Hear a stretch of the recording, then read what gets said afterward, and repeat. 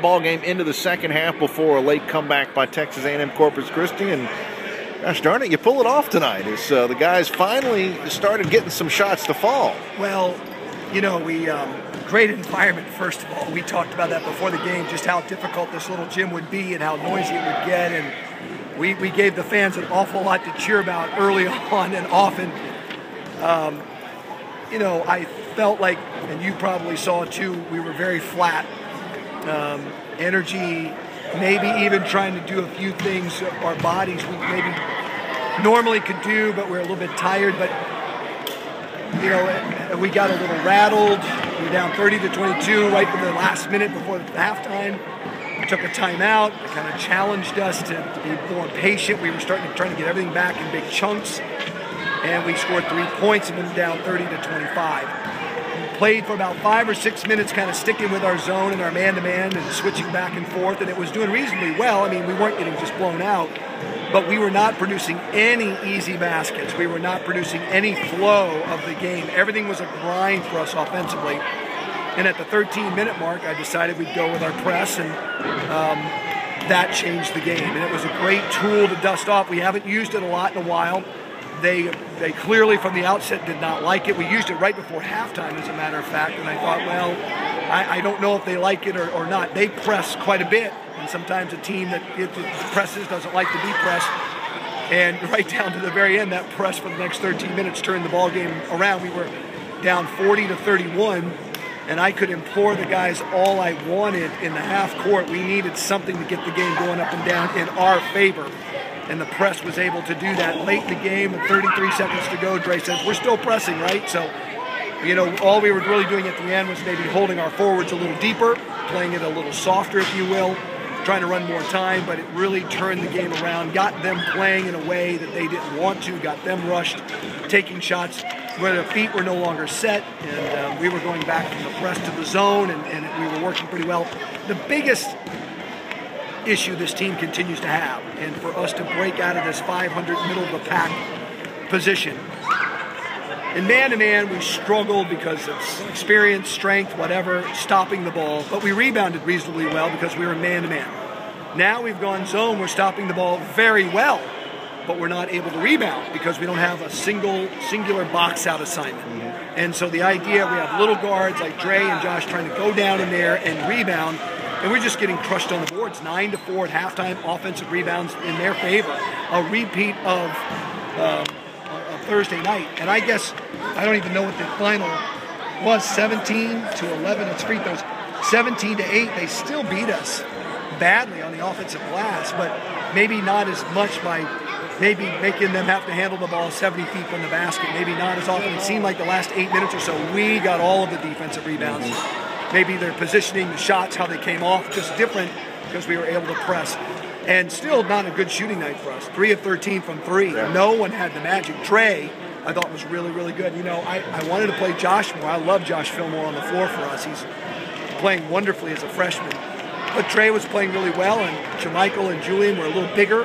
And you know, to, you know, Josh is going to have to get down there. There are nights when I have him playing a little out of position. He just was getting a little over, overwhelmed. And uh, but that's that's the way basketball is. You know, so many times people think their job or their role means that they are uh, insignificant somehow, or it's you know we don't do anything in a totem pole kind of mentality. We do everything horizontally. Your job is as important as his job is his job, and on a given night, if someone can rotate in and help your team, that's what it's all about. And you understand that in the NBA when you play 82 regular season games. You play 29, and the way young kids think sometimes. Josh you know, does great things for us. Tonight we had some other guys make some very big contributions. We were out of sync all evening, but we were able to get them in a place where they were questioning themselves as the newcomers of the league again. We got the lead we closed it out well enough and uh, and pull out a, a, tough victory. I knew it was going to be tough. I was hoping an eight or ten point victory in a different sort of fashion, but you know sometimes you just have to kind of dig down in your bag of tricks. And uh, tonight this worked very well. Now we've got to recalibrate. We've got to get ready for UNO. I'm sure is going to come in full of themselves, really ready to show themselves in the league. It's, it's the new rivalry for us right across the lake. And uh, UNO Privateers and Southeastern, their head coach at the Northwestern State, longtime assistant, he knows all about Southeastern and all about the uh, the energy that this conference and league races bring. So it'll be an awfully good game Thursday night. It's a single game, and the students are back. I sure would love to have everybody come out and show UNO what it's like to have a great crowd, get our student body out there, and get our marketing people out there, and let's promote this thing and get our men and women. Our women had a very tough fought triple overtime win. We had a hard fought win tonight. We can kind of relax a, day and get ourselves ready for a single game, point to this game, and then we're at the midpoint. And uh, if we could go five and four at the at the turn with nine games to play, and maybe figuring some things out about ourselves, coaches will keep studying, players will keep improving, and uh, you know let's let's end this first half of league play with a great win against UNO if it's at all possible. Well, coach, congratulations on the win, and like you said, you get to head home on a great note. And uh, maybe feel, maybe relax a little bit on that trip back, as, as far as uh, where where you're sitting at and heading back knowing that you're headed back home. Well, you well. know, I just want to say this too, for whatever it's worth. I think you know, looking at this, some of these moves, our commissioner has done a great job adding these four teams. Uh, amazingly competitive. You know, you've got UNO's at 500. You know, Houston Baptist is the one win against Northwestern State, extraordinarily competitive. ACU extraordinarily competitive. Incarnate Word now four and two. Yeah, we were thinking somehow, some way we had you know not uh, we had not maybe done our job with Incarnate Word. And they go beat Sam Houston. So, you know, it bodes well for the future of our league and, and very competitive, good geography. And, um, you know, I'm just glad we were able to pull this one out. They, you know, unfortunately, some of these programs, as they get going, will get better and better. And, uh, but, you know, for tonight, we get a chance to kind of hold even. 500 is a program, 500 in the league.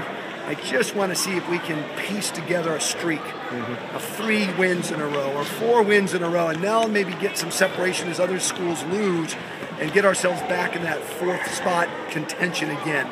Uh, you know, we'll take whatever we can get. We know conference tournament time is all about magic and playing well for three or four days, whatever it is, but certainly would like to be in one of those top four spots. And I think our team's capable, but we've got to solve some rebounding issues and just figure out the, the ending part of our defense. We're almost there. I think offensively, we've got some great weapons. We're seeing a lot of guys play different nights confidently. Uh, you saw two games where a lot of guys made great contributions on this road swing and um, we're getting better. We just got to make sure we show up the defense, and maybe we'll take ourselves to another level. So, okay. head, heading home. Yeah. Congratulations on the win. We'll talk to you on Thursday night. Thanks, Danny.